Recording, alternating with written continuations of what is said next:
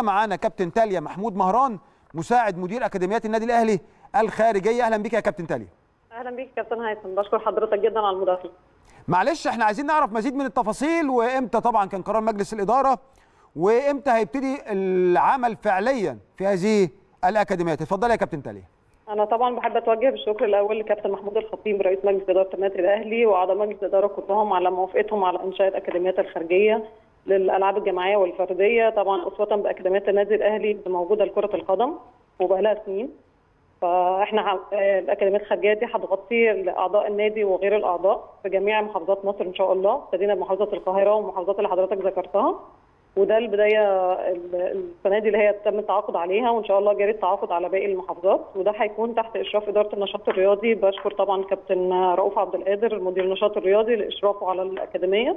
واختياره طبعا المدربين والعاملين في الأكاديمية وده بهدف تسليط الضوء على الموهوبين والكشف عن اللاعبين المتميزين في الألعاب المختلفة في كل محافظات مصر عشان يكونوا نواه نضمهم لفرق الناشئين في النادي الأهلي. وانتقائهم طبعا هيكون بعناية تحت المدربين المميزين جدا في اختيارهم ومن ثم هنضمهم للمنتخبات القومية إن شاء الله. فنتمنى إن ده يحصل في أقرب فرصة. و- كابتن تاليا معلش أنا قاطع حضرتك. في نقطتين مهمين محتاجين نحط عليهم الضوء. إن طبعا الأكاديميات دي سواء للأعضاء أو غير الأعضاء بالنادي الأهلي صح؟ تمام. تمام. والأكاديميات دي تحت إشراف كامل. يعني مش بس اسم النادي الأهلي لا ده النادي الأهلي بيشرف عليها ممثلة من النادي الأهلي طبعا إدارة النشاط الرياضي. مظبوط؟ تمام. يعني يعني يعني الأكاديميات دي كأن اللاعب أو اللاعبه أو النشء كأنه جه اتمرن جوه النادي الأهلي. بالظبط كده. هو نفس المدربين هيبقوا من النادي الأهلي طبعا بانتقائهم هيبقوا مدربين مميزين جدا علشان يسلطوا الضوء ويقدروا يميزوا اللاعبين ويكشفوا عن موهبتهم اللي موجودة في المحافظات. أنا حضرتك عارف المحافظات كلها مش كل الناس متاح ليها إن هي تخش النادي الأهلي وتتمرن جوه النادي الأهلي. فإحنا رحنا لهم لغاية عندهم لغاية المحافظات عندهم وهيقدروا يشتركوا سواء هم أعضاء جوه النادي أو بره النادي. وهي هي يعني هيتفرج عليهم وهيشوفهم مدربين مميزين ويقدروا يختاروهم ويختاروا أفضل ال- المواهب اللي عندهم في كل الألعاب سواء جماعية بقى أو فردية.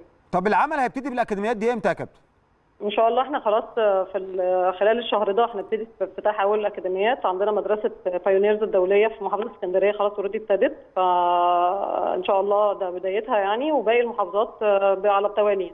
طب إحنا محتاجين برضو هنبقى نتواصل معاكي عشان نبقى عارفين الأكاديميات يعني حضرتك بتقولي تباعا هتبتدي تشتغل. مظبوط مش كده؟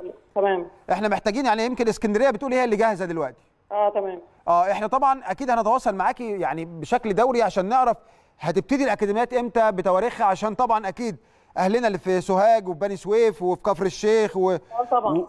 وطبعا والخبر ده يسعد كل جماهير ده يسعد الملايين. النادي الأهلي اللي راح لجماهيره مش مستني جماهيره تيجي ليه يعني. فإحنا بنشكركم الحقيقة على هذا المجهود الكبير يا كابتن تاليا. أشكر حضرتك جدا يا كابتن هيثم. إحنا ده متعودين عليه من كيان النادي الأهلي إن إحنا نربي رغبة جماهيره ورغبة عشاقه في, في تواصلنا معاهم في كل الألعاب إن شاء الله. طب كابتن تاليا لو لقيتوا موهبة آه، آه، جيدة في هذه الأكاديميات هينضموا مباشرة لفرق النادي الأهلي؟ طبعا فرق ناشئين في النادي الأهلي طبعا. يعني ده زي ده كشافين الهدف ده الهدف من المشروع إن إحنا نشوف اللاعبين المتميزين في كل الألعاب في كل المحافظات ونضمهم لفرق النادي الأهلي ويبقى لاعب باسم النادي الأهلي. يعني أنا بشكركم الحقيقة على المجهود ده وأكيد ده خبر يسعد الملايين من الأهلاوية. والنادي الأهلي دايما سباق يعني آه، ما استناش جماهيره. لا ده إحنا بن- بن- بنكبر القاعدة. وخاصة أنا شايف التوجه الأكتر يمكن نصيب الأسد راح لأهلنا في الصعيد. صح يا كابتن تاليا؟